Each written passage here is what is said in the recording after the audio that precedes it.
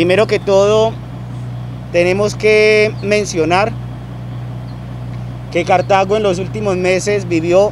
momentos muy complejos, momentos difíciles, entre ellos el asesinato de varias personas. En nuestro gobierno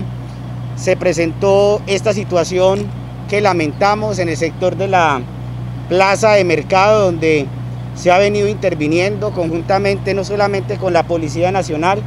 sino con proyectos a partir del DPS para orientar la mejora de las condiciones en ese sector tan complejo que había sido tomado por la criminalidad. Segundo, que también en nuestro gobierno se presentaron unos hechos lamentables en el sector del planchón.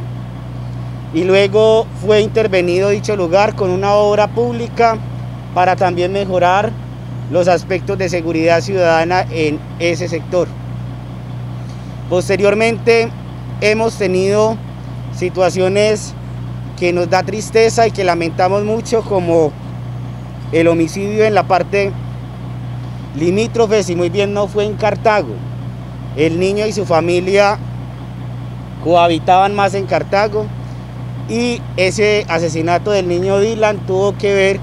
con toda la disputa territorial de las bandas criminales en el municipio de Cartago en el municipio de Obando, Alcalá, en el sector de Ulloa y en toda la jurisdicción norte, entre ellos también los municipios de Anserma Nuevo. Con eso, el parte positivo fue la gestión que pudimos adelantar. Los, los alcaldes del municipio del norte del Valle del Cauca, principalmente la alcaldesa Gloria Alcalá y quien les habla, el alcalde de Cartago, con gestión también del diputado Julio César García y por supuesto del comandante de policía Valle y también los comandantes de policía del municipio de Cartago, dando la posibilidad que viniese al territorio, a la región, al municipio de Alcalá, el señor ministro de la Defensa. Desde ese momento, el pie de fuerza en el municipio de Cartago tuvo un incremento muy positivo. Y aparte de eso, eh, Hoy podemos decir con satisfacción que gracias al esfuerzo de la Policía Nacional, de las organizaciones de inteligencia y fiscalía, se pudo dar a él a este momento 61 capturas, que incluso muchos cubrieron a través de los diferentes medios de comunicación nacional y que hoy damos el parte de esas 61 capturas que por supuesto generan mayor tranquilidad para el municipio de Cartago. Sabemos que este es un solo y pequeño esfuerzo, porque la Policía Nacional le corresponde adelantar, al igual que con las organizaciones de inteligencia y fiscalía,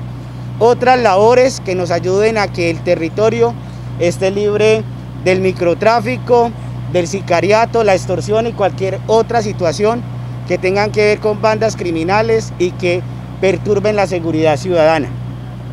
En ese mismo orden de ideas, agradezco nuevamente al señor coronel Aguilera, por supuesto también al comandante de estación y a la gestión que el comandante del departamento eh, eh, se da el esfuerzo para que hoy podamos tener alrededor de 60 hombres que van a estar en la ciudad de Cartago brindando los aspectos de seguridad, ciudadana para que tengamos tranquilidad y mejor convivencia y sobre todo también para atacar el crimen organizado y no organizado. En ese mismo orden de ideas, el esfuerzo que el comandante de departamento y de estación y de distrito de policía hacen con alrededor de 45 jóvenes que ya fueron incorporados como auxiliares bachilleres que también nos va a ayudar a orientar todos los procesos de convivencia ciudadana. Este espacio donde hoy estamos generando la noticia y dándole el cubrimiento es bastante importante para que, por supuesto, la ciudadanía evidencie que estamos trabajando fuerte para que la tranquilidad y la convivencia ciudadana siga en la ciudad de Cartago como hasta el momento hemos podido trabajar. El grupo de carabineros que también llega a reforzar dentro de ese grupo de 60 hombres. A la ciudad de Cartago es un esfuerzo que hace varios meses, días, estábamos trabajando y que también con, con la concurrencia del glorioso Ejército Nacional seguiremos trabajando para que el corredor principalmente entre Villarrodas del municipio de Obando, el corregimiento de Movín, Piedras de Moler y Coloradas estén con patrullajes para que la criminalidad que se movía por ese corredor, que no solamente, según la información que teníamos y que tenemos, es el movimiento de armas, el movimiento también de sustancias psicoactivas para enriquecer, en este caso, las organizaciones criminales, pues nos va a ayudar a tener presencia en esta zona rural tan apartada del territorio donde incluso los campesinos de nuestra ciudad hacían mucho tiempo estaban solicitando porque ese sector prácticamente se convertía en territorio de nadie, dándole la oportunidad a que las organizaciones al margen de la ley hicieran y deshicieran en este sector y llegaran al casco urbano a hacer de las suyas y a generar perturbación en la seguridad, tranquilidad y convivencia ciudadana de los habitantes de los territorios antes mencionados. Para nosotros como administración municipal celebramos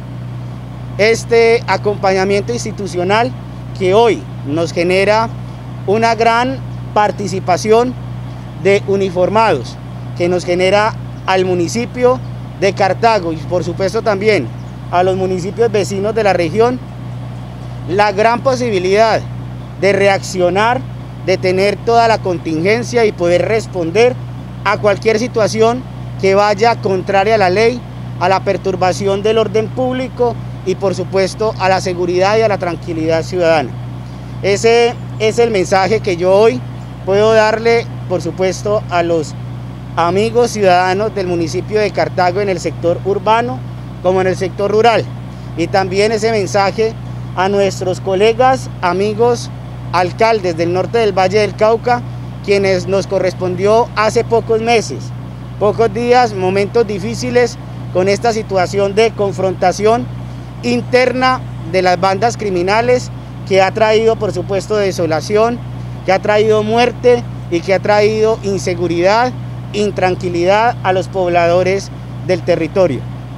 Es para nosotros de gran satisfacción y agradecerle nuevamente a las directivas desde el señor ministro de la Defensa,